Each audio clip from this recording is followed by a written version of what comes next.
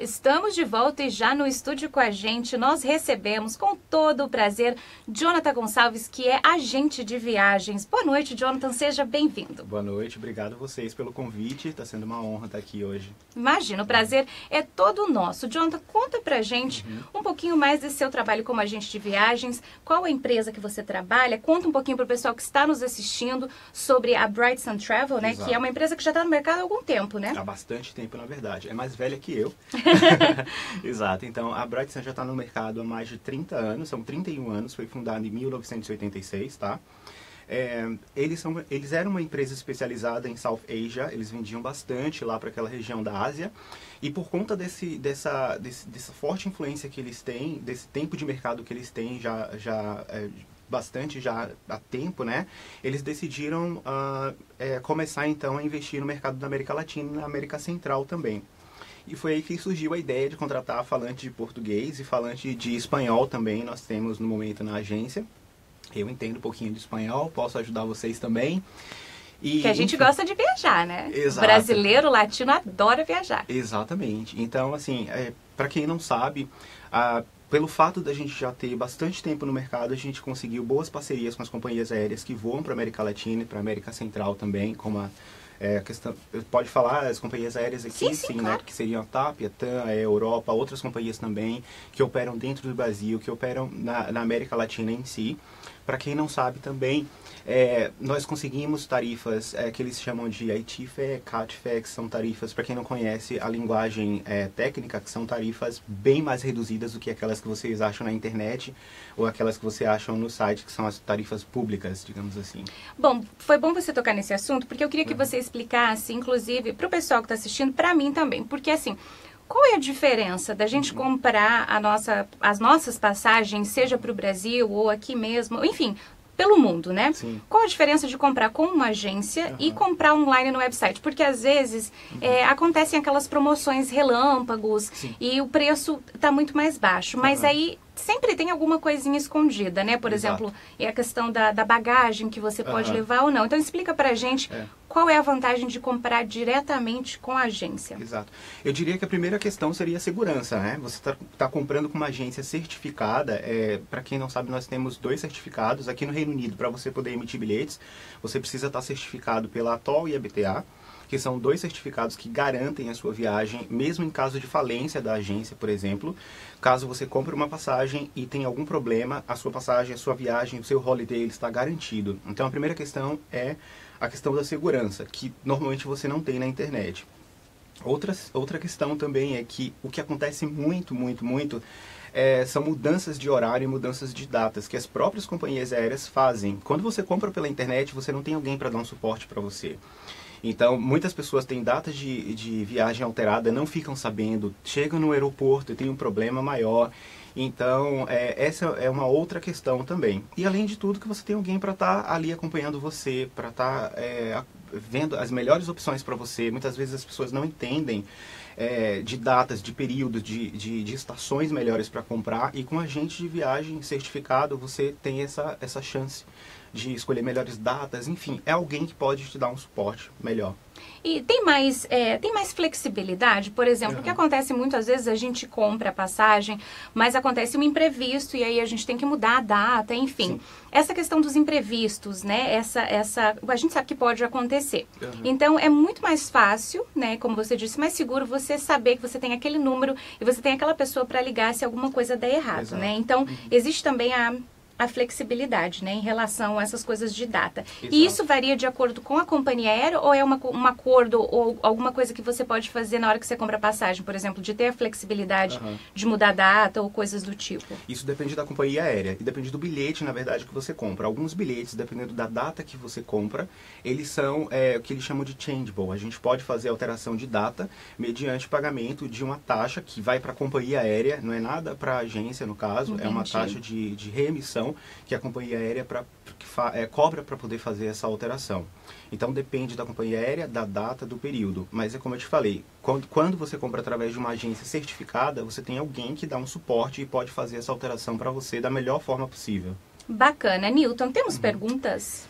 Temos pergunta já, e a primeira pergunta é da Liliane Martins. Ela pergunta assim: a agência trabalha com parcelamento de passagens? Como funciona? Jonathan. Gente, pergunta super importante, porque às vezes o bicho pega, como diz o ditado, a gente fica apertado e aí tem que comprar passagem, tem que ir visitar a família no Natal. E aí como é que faz? Dá para parcelar? Dá para parcelar, exato. A gente tem duas maneiras de fazer parcelamento atualmente na nossa agência. Isso é um dos nossos diferenciais, tá? Algumas agências aqui, a maioria delas não fazem esse tipo de parcelamento. É, a primeira forma de parcelamento é que a própria agência financia. Então, vamos supor, você hoje entra em contato com a Brightson Travel e você é, quer fazer um parcelamento, comprar uma passagem parcelada. A primeira coisa que a gente vai fazer é checar na regra do bilhete se o bilhete é reembolsável. Caso o bilhete ele seja reembolsável, nós, enquanto agência, nós temos a condição de financiar isso para você. Como que funciona? É, nós pedimos uma entrada, que normalmente é a multa de cancelamento em caso de cancelamento. Então, um exemplo para a gente, para o pessoal que tem casa ter uma noção. Exato. Quanto exemplo, mais ou menos? A TAM, normalmente, ela, normalmente, tá? Ela cobra uma taxa, sei lá, vou dar um exemplo, de 200 libras para fazer é, o cancelamento da sua passagem. É uma multa. E o valor restante da sua passagem, eles te devolvem. Entendi. Tá? Então, a gente faz esse parcelamento, pede essa entrada por medida de segurança. Claro. E o restante você vai pagando até 20 dias antes da viagem. Caso você decida cancelar, o seu bilhete é reembolsável, a gente devolve o valor para você. Então, o que aconteceu nesse caso? A empresa, a Bright Sun, ela financiou para você a sua passagem. A partir do momento que você dá a entrada, a gente já compra a passagem completa para você. Caso o bilhete não seja reembolsável, isso era um problema que a gente estava tendo e as pessoas não tinham opção de parcelar. Então, a gente fez uma parceria agora com uma outra empresa, uma financiadora, e essa financiadora ela entra em ação para esses casos onde o bilhete ele não é reembolsável. Nesse caso, o cliente ele vai estar lidando diretamente com a financiadora Com a e obviamente existe juros em cima. Não é como se estivesse comprando com a gente, que a gente não cobra juros. Entendi. Eu espero que tenha dado para entender, Liliane. Se não der, Obrigada, Liliane, né, pela, por ter enviado a sua pergunta. Obrigada a você por esclarecer tão bem pra gente. Tá. E é, em quantas vezes é esse parcelamento? Porque quem pensa em parcelar já pensa em quantas vezes também, né? Exatamente, exato. É, no caso de bilhetes reembolsáveis, onde a gente financia, quanto antes você comprar, melhor, porque você tem que pagar tudo até 20 dias antes da viagem. No caso de bilhetes não reembolsáveis, fica ao, ao seu critério, porque você vai estar lidando diretamente com a financiadora. Então, vamos supor que você queira viajar amanhã, você pode comprar o bilhete parcelado e continuar pagando com a financiadora para 6, 7, 8, 9 meses à frente. E aí vai incorrer em juros também, obviamente. Tá bom. Newton, temos mais perguntas? Temos mais pergunta. A próxima pergunta agora é da Ana Sara. Ela diz: Existe possibilidade de conseguir uma passagem com desconto ainda para este ano, porque está tudo tão caro? Exato. Qual o nome? Desculpa, eu esqueci o nome dela. Ana Sara. Ana Sara. Então, Ana, o que aconteceu é, com relação às passagens Muito caro ano, mesmo, gente. Tá bem caro, exato. Ela é minha cliente já, ó, pode falar. Gente, tá, eu tô tentando ir pra casa, viu, Exato. família? Eu tô tentando passar o Natal aí, mas tá caro, gente. Gente, a culpa não é nossa, por favor. É, esse ano houve uma alteração de preços em relação a todas as companhias aéreas. É, eles falam que o combustível subiu de preço e você sabe que a tendência realmente é ir aumentando mesmo com o passar do tempo. É, essa questão de promoções né, que surgem assim em relâmpago, a gente tem isso também. Normalmente, quando acontece uma promoção relâmpago, a companhia aérea informa a gente.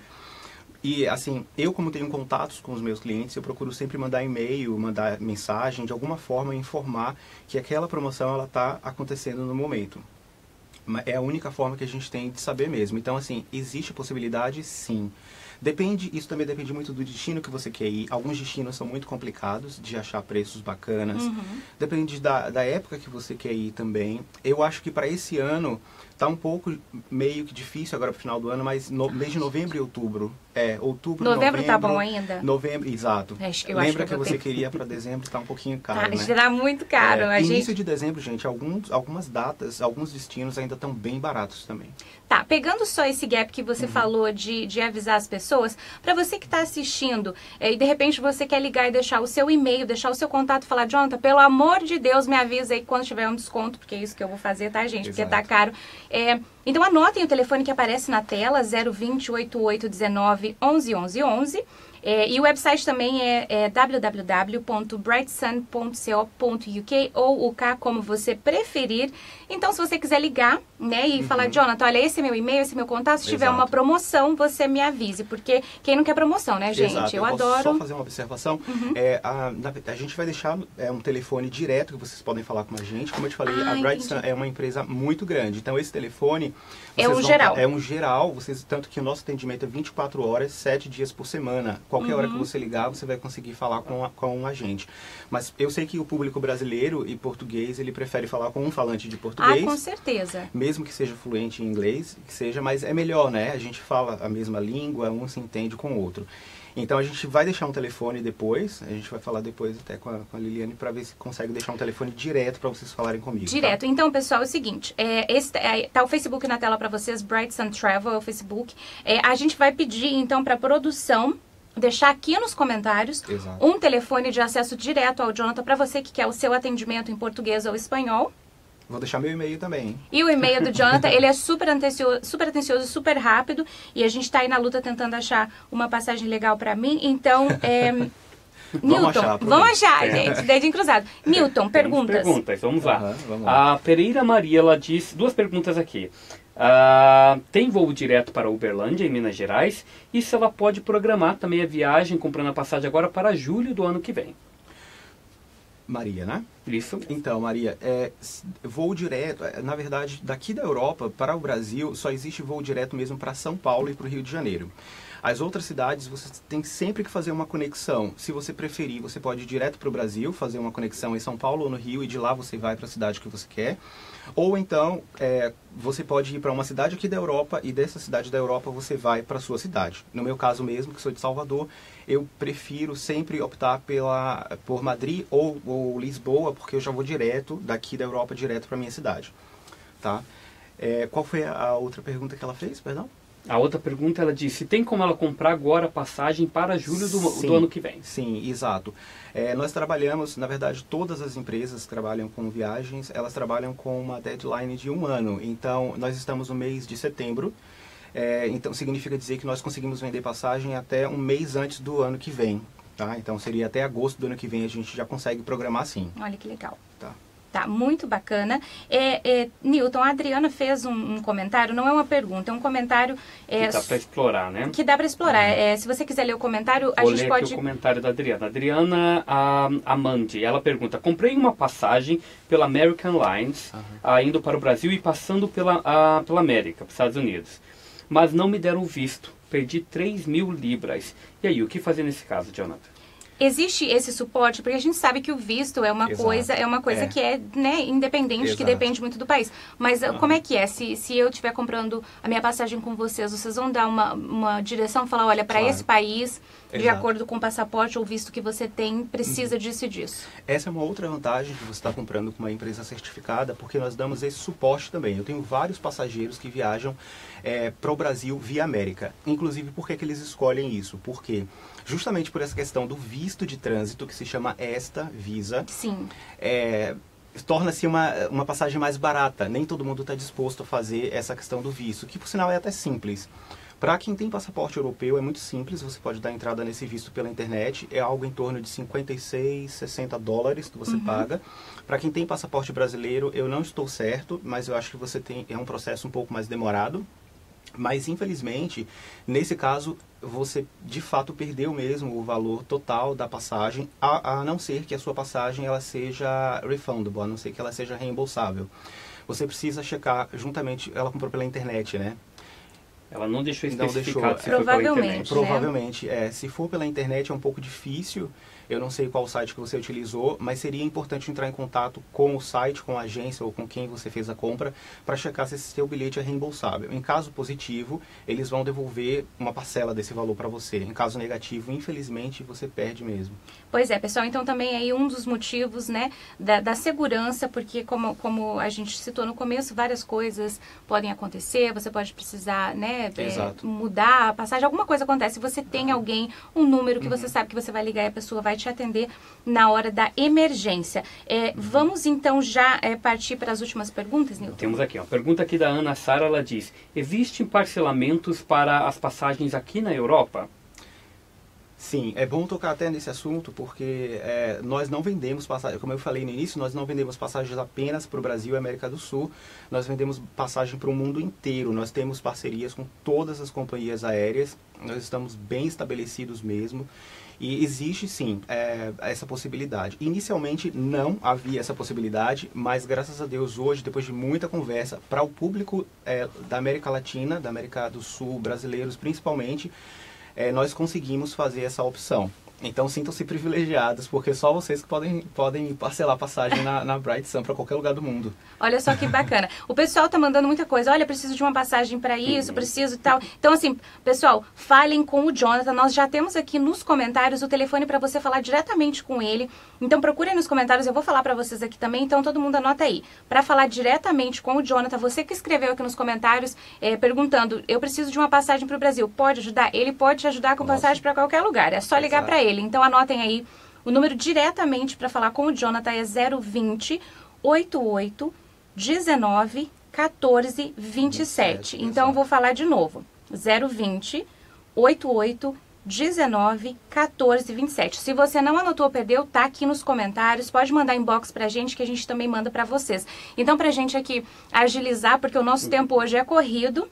Qualquer coisa, pergunta referente à, à passagem que vocês precisam, a data, ele pode ajudar Exato. vocês. Newton. Pode mandar e-mail também, tá, gente? Por favor. É, qual que é o seu e-mail? Você quer deixar seu e-mail já? É, é Jonathan, é Jonathan, não tem H, é J-O-N-A-T-A-N ponto Gonçalves, com C e S no final, uh, arroba brightsun.co.uk no final, tá? Vocês podem mandar e-mail também. Eu sou o único falante de português na agência, então às vezes o telefone fica muito ocupado e a gente não consegue atender todas as ligações de imediato, mas vocês tenham certeza, podem mandar e-mail e a gente vai estar tá respondendo sim o mais rápido que a gente puder. Tá, eu vou pedir para a produção deixar o e-mail do Jonathan também nos comentários para quem não conseguiu pegar. Newton, temos perguntas? Temos perguntas que está vindo bastante aqui. O pessoal quer saber qual é a melhor época, no caso mais barato, uhum. para ir ao Brasil. Jonathan, tem uma dica para esse pessoal? Sim, para quem sai aqui do, do, isso é muito relativo também. É, porque depende, teoricamente seria na baixa estação, que é no período fora de junho, julho e agosto. Esses períodos eles são muito cotados. Então não é que esse período ele seja caro, é porque existem uma, existe uma demanda muito grande de, de pessoas né, procurando por passagens para ir para o Brasil ou para qualquer, qualquer outro local, porque aqui é férias, aqui é verão, então as pessoas estão saindo. Então fora desses meses, a gente tem chances de encontrar, eh, maiores chances de encontrar preços mais em conta. Mas isso também não é regra. Por exemplo, eu já cheguei a vender passagens super baratas para o Brasil em julho, porque a pessoa se antecipou, é, ficou pesquisando comigo durante um bom tempo e a gente vai, não deixou para cima da hora também, tá? Não deixem para a última Por hora, favor. gente. É, produção, podemos fazer mais uma pergunta? Nilton, mais uma última pergunta para encerrar. Lembrando, pessoal, que todo mundo que precisa de ajuda, não se preocupem, porque vocês podem depois entrar em contato através do telefone e do e-mail que a gente deixou aqui nos comentários para vocês. Exato. Perfeito. A gente tem uma pergunta aqui agora do Alisson a Calisto. Ele pergunta: ah, qual é a melhor ah, época para viajar no Brasil? A gente já respondeu, mas ele mandou um outro aqui também sobre passaporte, tá? Uhum. Quem mora no Brasil só tira passaporte no Brasil? Aí ah, a gente estende a pergunta um pouco Quanto tempo antes da viagem o passaporte tem que estar tá valendo, Jonathan? Depende do, depende do destino, ok? É, isso é, uma pergunta bem ampla, assim, isso depende do destino. Para onde você for, você tem que se informar com o consulado do local para onde você está indo.